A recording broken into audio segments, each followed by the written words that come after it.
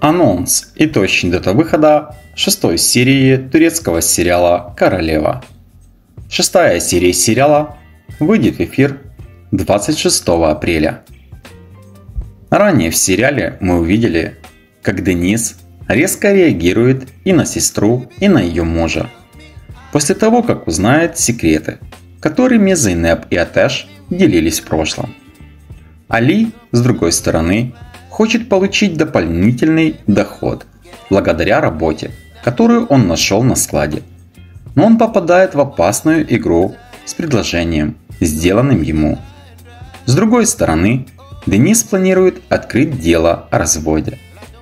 Встретившись с Махиром, а тот намерен ответить на игру Атэш игрой.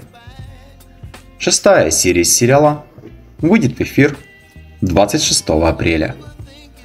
Если вам нравится сериал и ждете выхода новых серий, тогда ставьте лайки, подписывайтесь на канал, жмите на колокольчик и будете в курсе последних новостей о новых турецких сериалах.